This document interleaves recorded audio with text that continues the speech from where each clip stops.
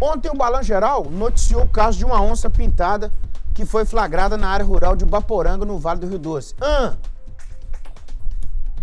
E aí? O animal tem tirado o sono dos moradores. Aham. Uhum. E ontem mesmo, hum, a Polícia Militar de Meio Ambiente esteve no local para avaliar a situação e passar orientações à população. Ah, tá. Eu estava aqui já ressabiado. Um registro de ocorrência foi feito e encaminhado ao IEF e ao IBAMA para que uma solução seja encontrada. O sargento Carlyle Alves Caetano é, tem mais informações. Põe ele para falar sobre essa onça aí, o, o.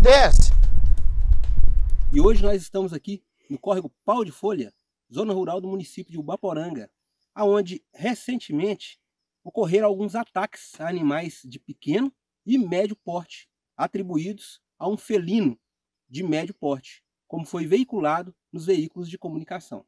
Moradores aqui da região chegaram até registrar imagens deste animal através de drone aqui na região.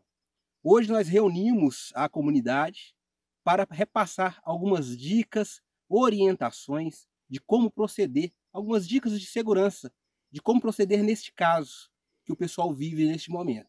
Já foi feito o registro de ocorrência referente ao fato e encaminhado aos órgãos ambientais, IEF e IBAMA, para serem analisados por uma equipe especializada e juntos podermos achar uma solução viável para este problema. Orientamos os moradores da comunidade a manterem a tranquilidade e seguirem as orientações de segurança repassadas pela Polícia Militar de Meio Ambiente, que estará presente na comunidade até a solução do problema.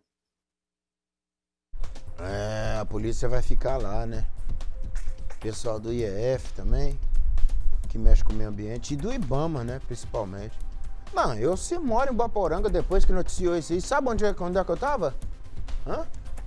Dentro de casa, com a casa toda trancada. E ai daquele que viesse entregar conta de luz, conta de água pra mim. Que a onça pegue ele. Aí não, né, Lamonê? Aí não, né? Aí não.